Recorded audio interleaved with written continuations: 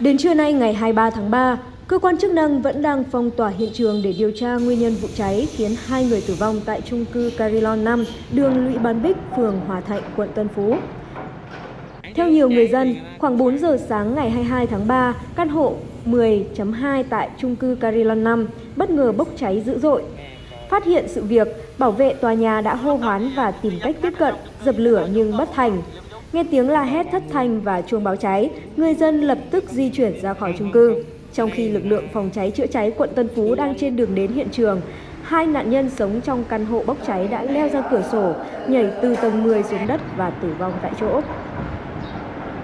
Nghe còi báo động bên này thì chung cư có còi báo động mà à. có hệ thống báo cháy thì cháy thì nó còi báo động thì mình nghe thì mình ra thấy cư dân người ta tản xuống rồi thì người ta nói có cháy ở tầng đó vậy vậy mình chỉ nghe là cái tiếng động người ta rớt xuống nghe cái bịch cái rồi tiếp theo là cái bịch nữa.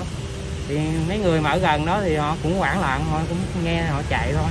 Cái người mà to con á tại hai hình như là hai hai người đó mẹ con hay là làm sao đâu không rõ nhưng mà dạ. cái người to con này nhảy trước. Giờ thì cô thấy mấy người đó ẩm con chạy lộn xộn hết á.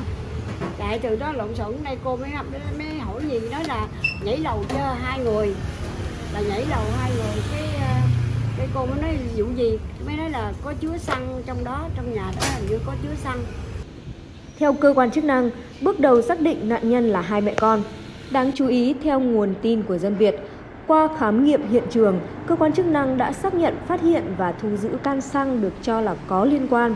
Chính vì vậy, đơn vị này cũng cho biết bước đầu nghi ngờ nguyên nhân vụ cháy là do người mẹ tự đổ xăng phóng hỏa. Ngoài ra, nguồn tin từ những người hàng xóm cho biết, người mẹ hiện đang bị ung thư giai đoạn cuối và từng có ý định tự tử. Người này cũng đang vay nợ tiền bạc của nhiều người khác. Sau khi xảy ra vụ việc, Ủy ban Nhân dân quận đã chỉ đạo các cơ quan đơn vị chức năng hỗ trợ, thăm hỏi gia đình và các nạn nhân.